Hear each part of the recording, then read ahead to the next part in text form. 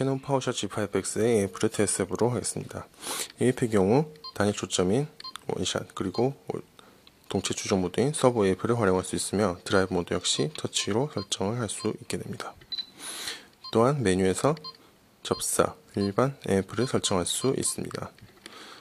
AF 모드의 경우 얼굴 인식 tracking 모드, 일반 AF 모드가 있습니다. 먼저 얼굴 인식 tracking 모드에 대해 실험을 해보도록 하겠습니다.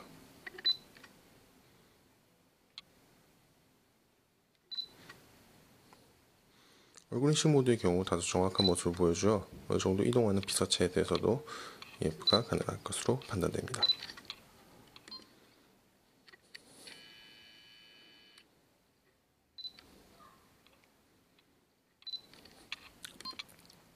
다시 일반 EF로 돌아와서 AF 프레임에 대해 설명해 보도록 하겠습니다. AF 프레임의 경우 다이얼을 통해 위치를 이동시킬 수 있으며 사이즈를 조절할 수 있습니다. 하지만 사이즈를 조절해도 다소 AF 포인트 크기가 크기 때문에 세밀한 초점을 설정하는 데 있어서는 다소 어려움이 있었습니다. 다음은 AF 설정에 대해 해보도록 하겠습니다. AF 설정의 경우 G5X에서는 생각보다 많은 AF 기능, MF 기능을 지원합니다. AF 포인트 주, AF 포인트 줌, safety MF, AF peaking 설정 등할수 있는데 AF 포인트 줌의 경우 초점을 확대하여 보여주는 기능이고 safety MF 그리고 peaking 설정을 한 상태에서 AF 설정을 해보도록 하겠습니다. AF 포인트의 경우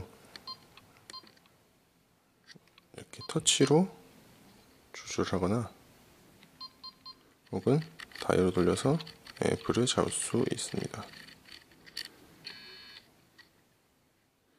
또한 이 AF 상태에서는 focus bracketing이라는 기능을 지원하여 여러 영역에 초점을 한 번에 3장 정도 촬영할 수 있어 초점이 다소 부족한 상황에서도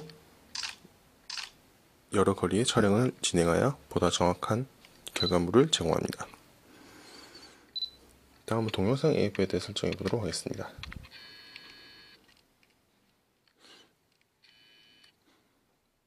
동영상 AF의 경우 부드러운 초점 전환이 가능하며 터치 혹은 AF 버튼 등으로 설정을 할 수 있습니다.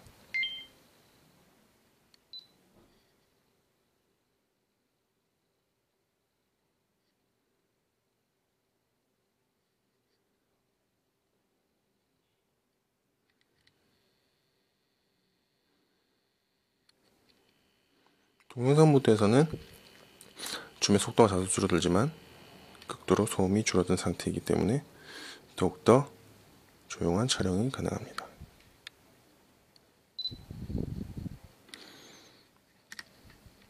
다음은 줌 테스트를 한번 해보도록 하겠습니다.